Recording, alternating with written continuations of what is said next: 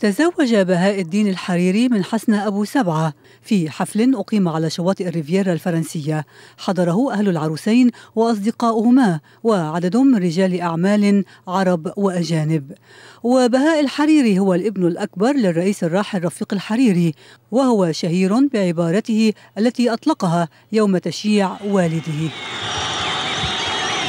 يا أيها القوم! يا أيها القوم! نريد